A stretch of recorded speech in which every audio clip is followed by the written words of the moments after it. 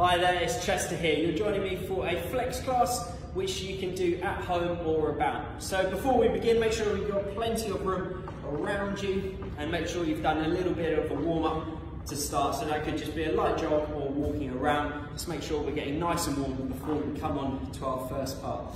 Okay, so today what we've got is six exercises and we're gonna do 30 seconds of work with 20 seconds rest in between each exercise as we come through. When we get to the bottom of our six exercises, what we're going to do is take a slightly long rest, 45 seconds, then begin again, and then repeat this maybe four to five times, depending how you get on. So you can always do three to start and then try it again and go for an extra round another time, okay? So let's start with our first of six exercises. So first one is going to be star jumps. So light on our toes, hands come to the top.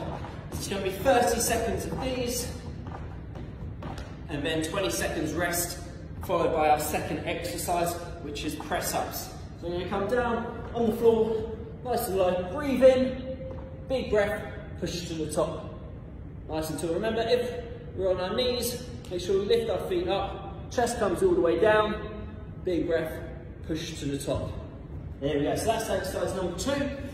Okay, number three, actually staying down in that position.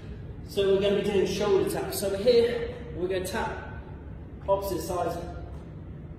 And then we're, what we're looking to do is try and keep our core nice and tight. So we're working here, tap that. Okay, there we go, excellent work, well done. Okay, so next one is a lunge. So either step forward or back. So I'm going to demonstrate a reverse lunge. So step down, and then alternate leg. So down, alternate leg. Okay? From the side and front. Here we go. So step back, nice and low, drive to top. If you want to make it slightly harder, what you can do is jumping lunges.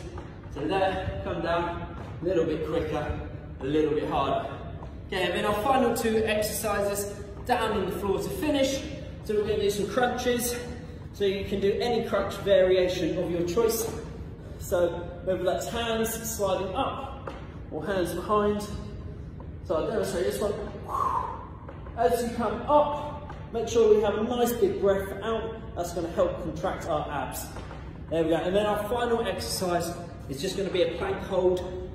So we're going to come down on our forearms, hold it nice and tight for the remaining time. There we go, excellent work. So once you've completed all six exercises, grab a quick drink, have a rest for 45 to 60 seconds before repeating it a further two or three more times. Other than that, I hope you enjoy your workout. And then, uh, yeah, let us know how you get on. We'll see you in the next one. Thank you.